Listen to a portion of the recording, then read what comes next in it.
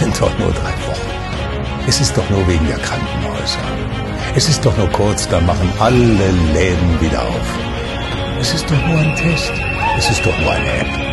Es ist doch nur, dass wir wissen, mit wem Sie Kontakt hatten. Es ist doch nur eine vorübergehende Betriebsschließung.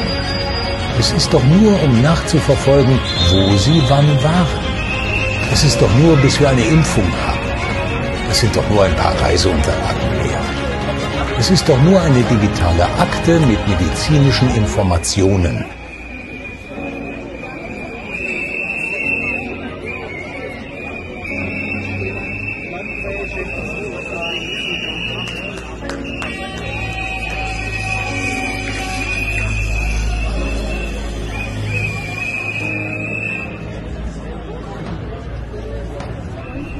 Es sind doch nur noch ein paar Monate mehr.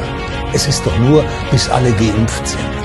Es sind doch nur ein paar Nebenwirkungen. Es ist doch nur ein grüner Ausweis. Es ist doch nur ein Armband. Es ist doch nur fürs Reisen. Es ist doch nur für die Arbeit.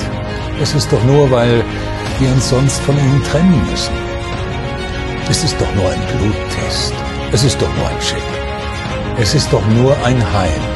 Es ist doch nur das Beste für die Kinder. Es ist doch nur, weil sie bei Ihnen nicht sicher sind. Es ist doch nur, bis Sie zur Einsicht kommen.